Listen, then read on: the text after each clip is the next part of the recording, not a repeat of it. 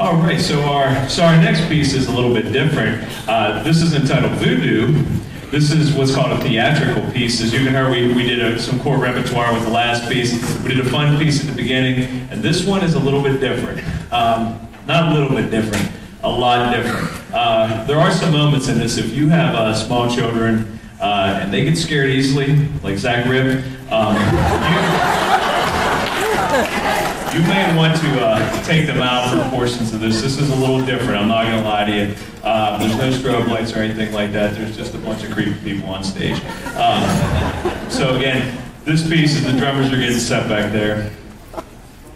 They've got a lot of stuff to do. So, so again, we hope you enjoy this. This is way different than anything you've ever seen before, and I mean way different. Somebody got Zach's hand over there. We good? Okay, thank you guys. I appreciate that. So, all right. Without further ado, here's Voodoo.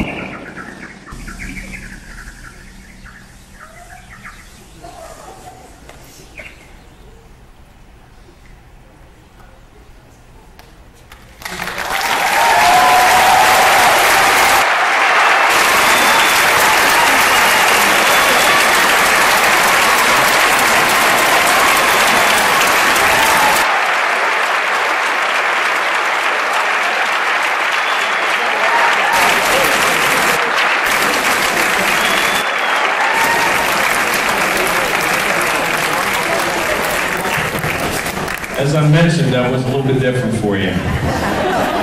We're gonna do it one more time, just now. Just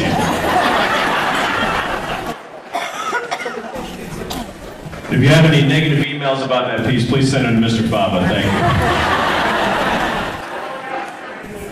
you. So anyways, I hope you enjoyed that. That was kind of different. I would venture to say that was probably their favorite piece overall. We only started that, uh, when did we start that? We started that after our adjudication we had here on March 2nd, so we hit it pretty hard for the last five or six days. So again, I want to thank these students. That was pretty crazy. One more.